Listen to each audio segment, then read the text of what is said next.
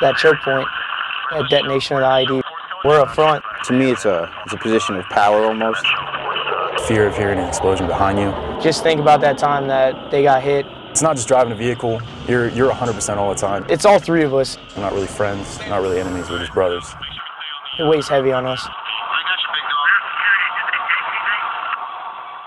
It's definitely an adrenaline rush. I have the best vantage point pretty much.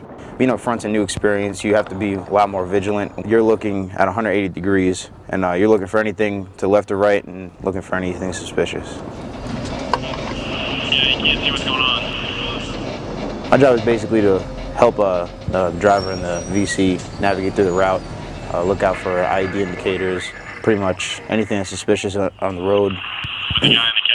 Alright, we're gonna pull to the left. Try and get a look at him when we come by. I got you.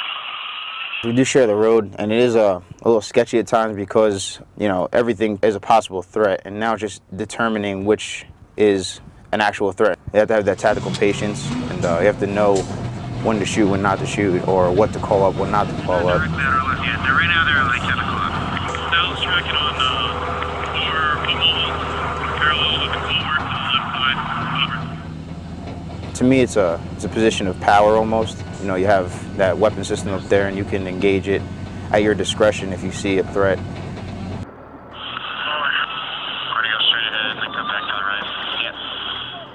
Well, it's a bumpy ride, and uh, I mean, it's it's I, I enjoy it. You know, you're exposed. You see how the Afghans live on a first-hand basis. There is a little dip here, so be careful. You see those tracks that go back to the road right here? Yeah, right here. Yeah, jump on those.